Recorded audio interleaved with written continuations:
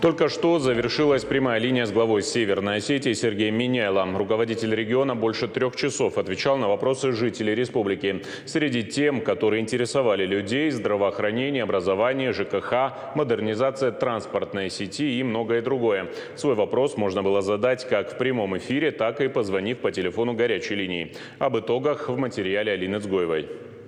Фельдшерско-акушерский пункт в поселке Любы Кондратенко в Моздокском районе не оборудован. Люди жалуются физически, он есть, но помощь там оказывать нормально не могут. Помещение маленькое, его надо оснащать. О проблеме знают в Министерстве здравоохранения. Ее решат в 2023 году. Модульных ФАПа закуплено для трех населенных пунктов. Вот, в том числе и значит, для Моздокского района. Э, и, э, у нас министр здравоохранения есть на связи? Да, в следующем году в рамках нацпроекта запланировано строительство э, фельдшерского пункта в данном поселке.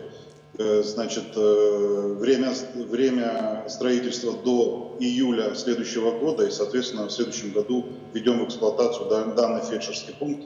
И, кроме того, откроем розничную торговлю препаратами, наряду с льготными препаратами. Никакой приватизации воды не будет. Передача предприятия Владсток в собственность республики означает вливание только бюджетных средств. А это уже говорит о том, что коммерческие интересы тут исключены. Что касается тарифов, то в нескольких районах их будут усреднять. И, соответственно, о гигантских ценниках речь идти не может. Для того, чтобы выяснить межтарифную разницу, да, мы будем э, выходить на экономически обоснованный тариф. Но будем адресную помощь оказывать, как это и положено. Вот я ветеран боевых действий, я плачу 50%, должен платить 50% за проживание. Я плачу 100%, но мне возвращается защита, компенсирует 50%. Вот. И, э, значит, есть категория льготников, которым это надо делать и будем делать. И, в принципе, вся категория льготников, как федеральных, так и региональных, она у нас есть. Социальные вопросы в прямом эфире звучали чаще всего. Бывает и такое, когда люди годами бегают по инстанциям, а проблема из обычной и простой становится многолетней. С этим столкнулась жительница Лагира. Она не может получить инвалидность. Прямо во время эфира ее жалобу взяли на контроль. В эфире много говорили и про капитальный ремонт школ, детских садов, отсутствие пандусов в центре города, критическая нехватка врачей-онкологов в районах. Сейчас заканчивает обучение несколько целевиков и, соответственно, в следующем году, надеюсь, эту проблему мы решим. Руслан Аркадьевич, вы, пожалуйста, решите, пока будете решать эту проблему в соответствии там, с земским доктором, там еще как-то и так далее.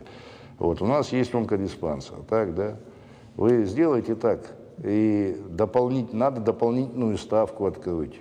Надо, давайте будем поощрять, да, чтобы, допустим, три дня в неделю вот, онколог работал в Моздоке, а остальное время здесь, чтобы люди просто знали, пока не найдем штатного онколога в больницу.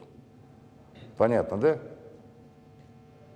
Да, Сергей Иванович. Проблема бродячих собак – одна из самых наболевших. Глава в прямом эфире пояснил, с 2019 года в 12 раз увеличили финансирование питомников. Надо работать с общественностью, доводить до людей, что животные на улице – это еще и ответственность самих хозяев. Решение проблемы стоит только строительством питомников – ну, к сожалению, мы эту проблему э, не решим не быстро, да, ну и длительный процесс будет.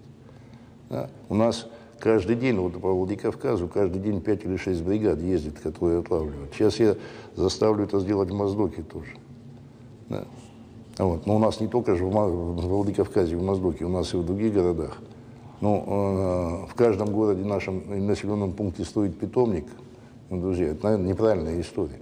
Поэтому тут надо еще и общественность э, привлекать и воспитывать. Почти 300 звонков и 500 сообщений в соцсетях. Больше трех часов эфира. Многие вопросы должны решаться на местах. Но вот такие форматы иногда бывают очень нужны. Ведь порой именно на уровне главы региона какие-то проблемы сдвигаются с мертвой точки. Те вопросы, которые не попали в эфир адресно, уже направлены в ведомство. Все они зафиксированы. Итоги их будут известны в самое ближайшее время.